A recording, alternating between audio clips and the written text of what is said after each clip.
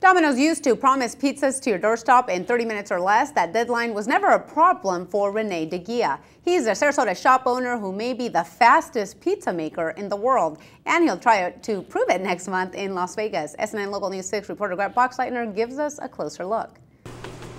Sarasota's Rene DeGia started working at Domino's 23 years ago as a customer service rep. I was on the phones for two, three, four hours at a time. I said, uh, you know, it looks like a lot more fun over there making pizzas. And when he moved to the prep area, he was soon making quick work out of those pies. Very quick. From then on, I always had a passion for making good quality pizzas as fast as I can. Over the years, DeGia has become so fast that he'll soon be going for his third title in Domino's World's Fastest Pizza Maker competition.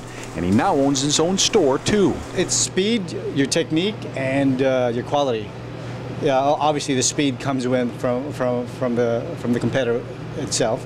The quality comes from experience. Check out his technique. You may not want to blink. Little time is wasted as he moves from one skill to the next, and it's even faster from this angle. It's an art form few have mastered like this. Then it was my turn to test my skills at DeGia's Pizza Store on Cattleman Road. He takes me step by step. You're going to form a border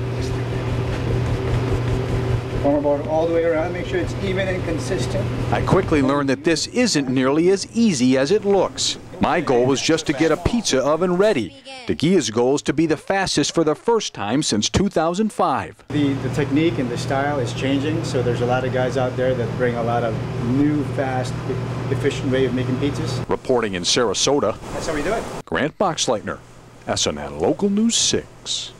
DeGia owns the Domino's at 480 Cattleman Road. He's scheduled to compete in the world's fastest pizza maker competition on May 16th in Las Vegas. We wish him well.